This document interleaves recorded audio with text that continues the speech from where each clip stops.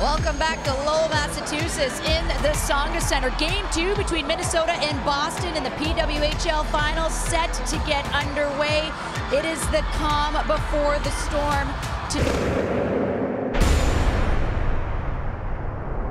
Can Boston take the commanding 2-0 series lead, or will Minnesota rise to the occasion and tie this series up before heading home for game three? Looking to protect this puck. Channel will push her off the puck. Cava now it's 1-1 unfolding for Minnesota. Cava has Coyne Schofield with her. She'll offer a pass, and she scores! It gets redirected, and Minnesota has opened the scoring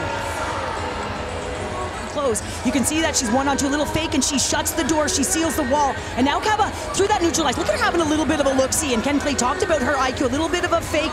And you can see Megan Keller trying to take away that pass back door, but Cava, little pause, little pause, and it winds up going off of the stick of Megan Keller, redirects, and Cava looking to make that play to Kendall Coyne Schofield, thinking that she can feather it in, and it's an unfortunate bounce. DiGirolamo, they're still able to get a shot on net. Jaques jumping right back to her feet to keep this puck in the zone. Now looking for an opportunity, and she scores!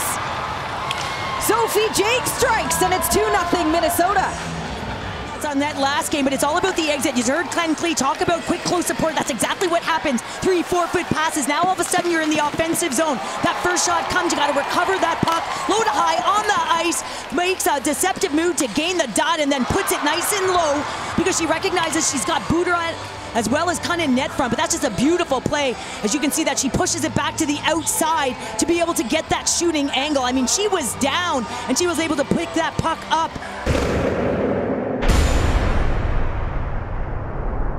Trying to feed it to the far side, gets awkward bounce and rolls right into her skate. Now she'll try for the empty cage and she'll get it. Sophie Jaques, two goals here tonight. Minnesota takes a 3-0 lead in back-to-back -back games in the finals.